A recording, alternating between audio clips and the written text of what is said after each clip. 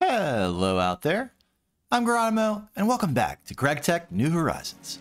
Last time, we got started on this factory for dark magic, in part to continue down the path of the IV tier laid out in the ancient tome, and more importantly, because I keep getting this feeling that the path to absolute power lies in cracking that tree. And to do it, we need a laser that can only be made in a special crafting table. The recipe seems simple enough. Other than this, that's quite a few nether stars. There are a few ways to come by those, but the dark magic route, eh, it just feels right. Luckily, we're just about ready to go. Plan is to set up a basic Thaumcraft line that will spit out Salis Mundus or balance shards using the Essentia from all these wisps, plus a bit of extra Praecantatio from our friend the Essentia Bee. Then, with all that free Salis Mundus, we'll make some nether stars to suit our immediate needs, and use the rest to work towards connecting our Thaumcraft setups to the big AI brain in the sky. Uh, I mean, get into Thaumic Energistics. What is going on with me lately? It's almost time to empower this insane node. But before that, there's one last thing we need. The Apimancer's Drain. The reason we need this thing is because, combined with the Essentia Bee, it can give us a constant drip of any Essentia type. With enough of them, we can have unlimited everything. But even with just a few, we can get well down the road of supreme power. However, this recipe is also a slight bump in the road. We'll have to take a bit of a detour here to get it done. It's mostly pretty straightforward stuff, except for these pollens. These are a little bit of a gotcha. The unusual pollen is easy enough, just an output from a specific bee we can easily breed with our new maddening frames of frenzy. But the phase pollen is a different story. This one is a 5.5% drop chance from a comb with a pretty low production chance itself. It might take more than a few of these. Nothing to it but to do it. Are you ready for progress?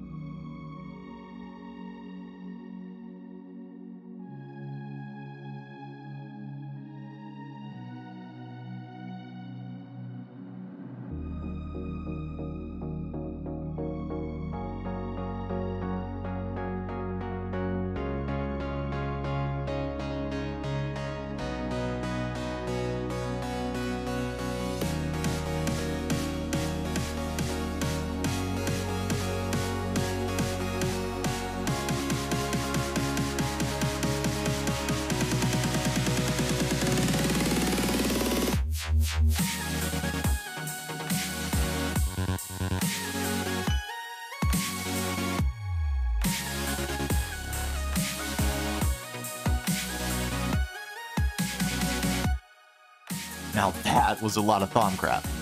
And all the investments we've made so far have really paid off. Crafting Scepter, the Mega Node, and the Rejuvenating Bee to recharge it in an instant were all amazing, and soon to improve. At the moment, we're making our first Apimancer's Drain. There we go, and no time to waste. Let's put it to use. We've got our standard alveary set up with three electrical stimulators. The bees go in, and with one drain under the middle block, we can attune it to Praecantatio, and away we go. It'll be faster once we plug the simulators in. Aha, much better. While waiting to get the pollen, I went ahead and got the simple furnace line set up. This will burn our ethereal essence from the wisps, and if we send that essence to an alchemical construct, to an alchemical construct, ah, must be out of V. Supernode to the rescue. As I was saying, if we send that essence to an alchemical construct, along with the Praecantatio from the bee, it will give us a slow but infinite supply of Salis Mundus. Very useful indeed. Now, let me figure out these silly pipes. Here we are. The Salis is flowing, and we can even swap this to balance shards. I won't lie, this was not the most intuitive thing I've ever set up. And it looks hideous, but it's working. And to be fair, it's very satisfying watching the puffs of colored smoke. We'll improve that setup once we go digital. For the moment, we need nether stars, which we can get by combining the Salis Mundus with Null Catalyst. We're hung up on automating nether stars until we can automate null catalyst, but I might have a plan for that. In the meantime, with enough nether stars, we can take one more step towards building a laser powerful enough to crack that tree. With the dire crafting table, we can make this, the particle generator. We don't quite have the power capacity to run it, but getting a step ahead is always worth it. Another nice thing we can do with access to all these excess nether stars is make IV sensors, which means we can make the fluid solidifier hatch. It's expensive for a hatch, but worth it, since it means we can fluid solidify in the large processing factory, at least until it gets removed at 2.7. Here they are, our first quantum stars. Quest complete. The ancient tome is pleased. Which reminds me, we can do a little bit of questing while we're going down this road. Might as well make the emitter too. And there's the first sensors. And the first emitter. Quest, please. Yes, I love to hate it. And if we've come this far, why not grab the IV circuit assembler? We can't use it in the processing array yet, but again, one step ahead. And why not autocraft it, you ask? Why not indeed? There we go, easy as that. Now there's just one last thing to do before we get back to corrupting our soul with dark magic. Make the laser. Feels like a long, long time coming. Still more to do, but we're close. Okay, back to our soul, and uh, yeah, so th this panel is really cool. Once we give it Centivi, it'll keep our wand fully charged all the time. Totally fair trade for the sanctity of our spirit, I'd say. And at last, it's time to empower this beast of a node. Stabilizer first, looking good. And the transducer, oh man, I'm so nervous. Okay, here we go.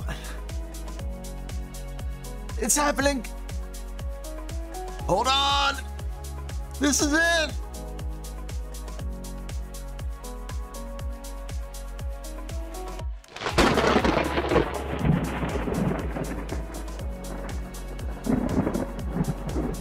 I can feel it. The power. Was that noise? I feel like ignoring things it hasn't really worked out. We better check on this. It sounded like it came from outside. Maybe over here. Ah, what's this?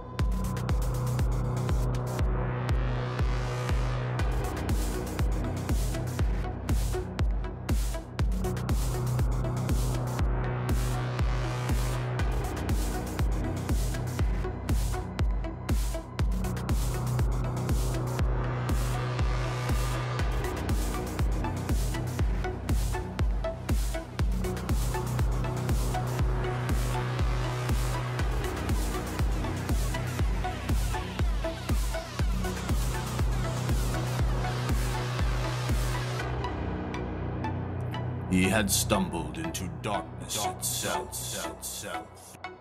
The goddess Nemesis trembled. She herself had sealed the cave. The engravings imbued with her power. She must warn the Earth Mother.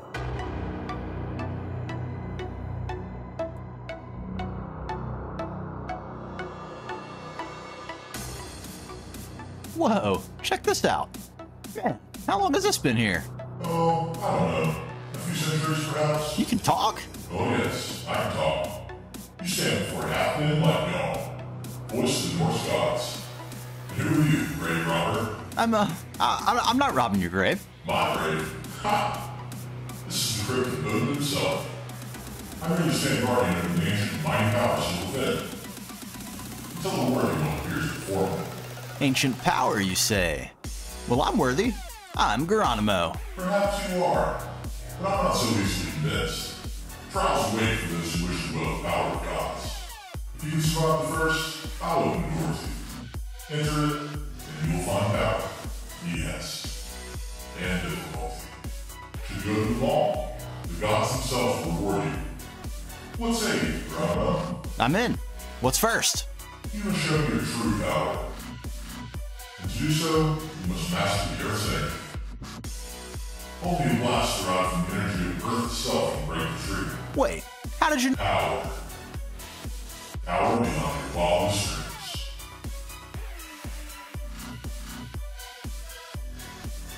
Go.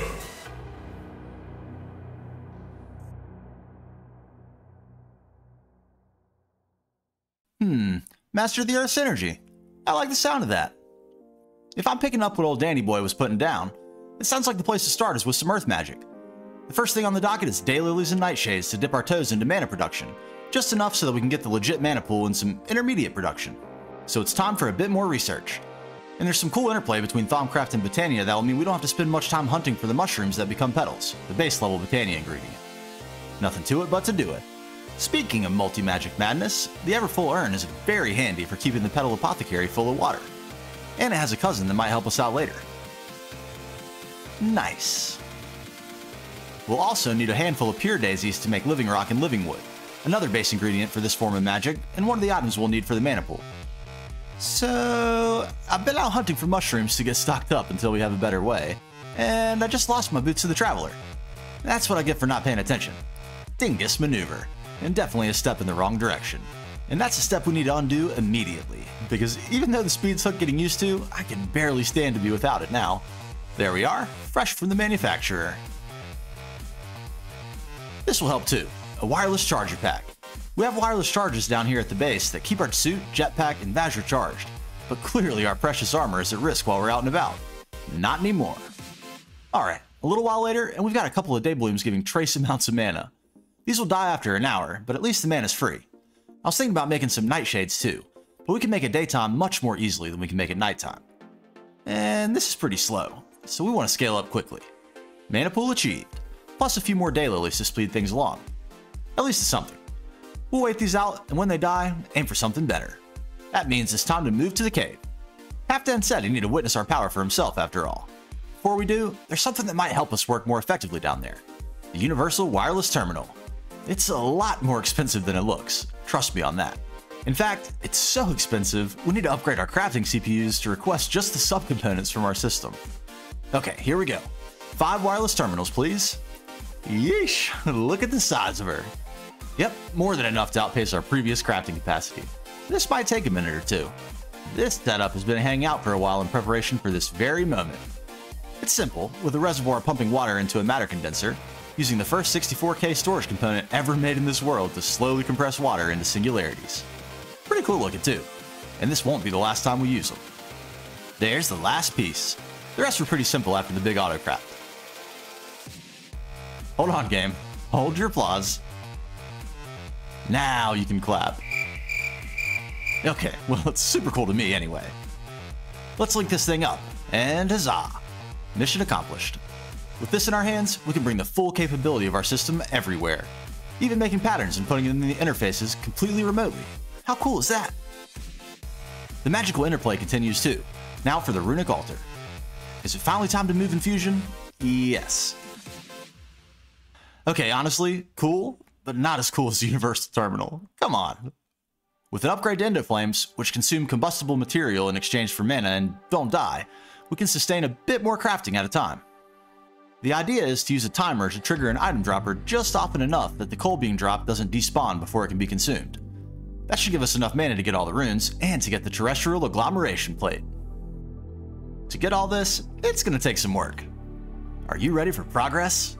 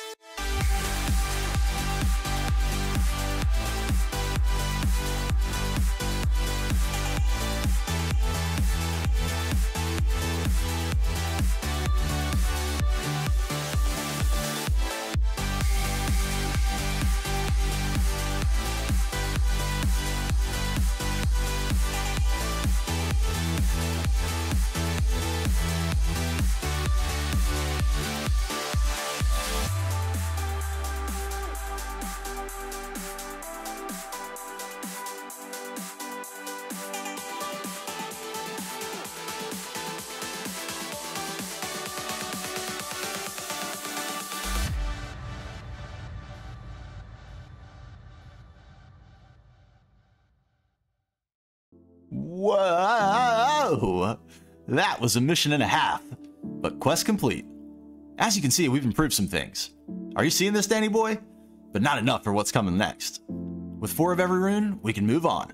It's time for some magical agglomeration. Which means it's time for you to go, old friend. The last remnants of a bygone era. I've been hesitant to upset the balance of the blessed symmetrical stability that, uh, outside of user error, has prevented major catastrophe. But we can delay no more. We need to beat our previous stability high for these infusions, too. There it is, in like Flynn. And what an infusion! I've said it before, but this animation was way ahead of its time. Legendary stuff. I'll miss seeing this after it's automated, but to be fair, this can take a while. Even so, worth admiring while we still can. Anyway, here are the goods. Let's get the Medal of the Gods. And here's the plate, and a spot of convenience for now. We'll rearrange this whole room once we get off of Flames for mana. We can't keep burning coal forever, right? We need to burn something better. To make this work, we need some sparks. And the reason we need better fuel is about to become apparent. Each Terrasteel takes half a mana pool. We've got a bit in reserve, which will eventually get sparks too, but for now, let's get our first Ingot of the Gods. Whoa, now that's power. The gods you trifle with are not what they see.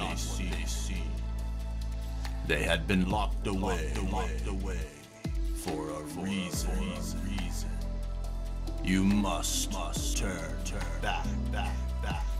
You must never, never, never, by imitation.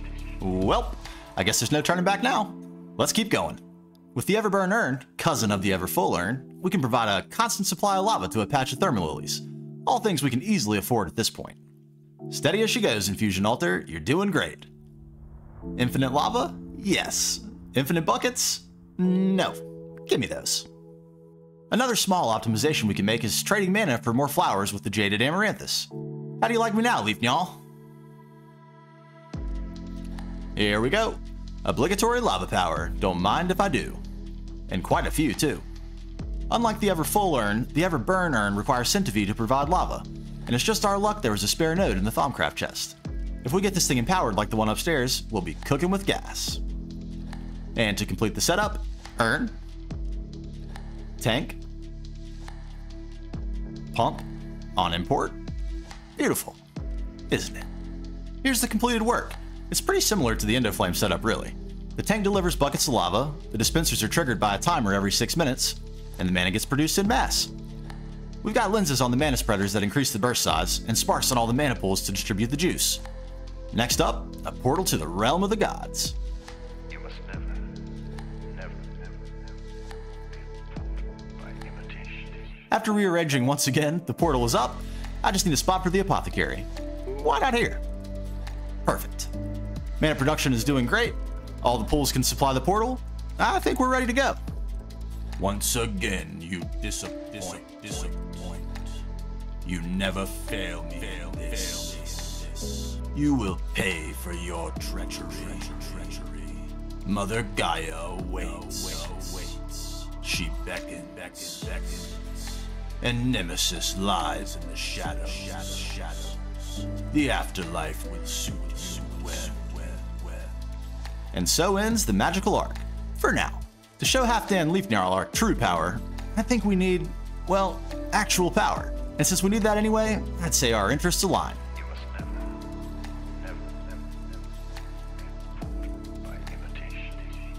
Luckily, with the glass we hoodwinked the elves into trading, a Lapotronic supercapacitor just became a lot cheaper. I guess we have a goal for next time. See you then. And hey, stay positive out there.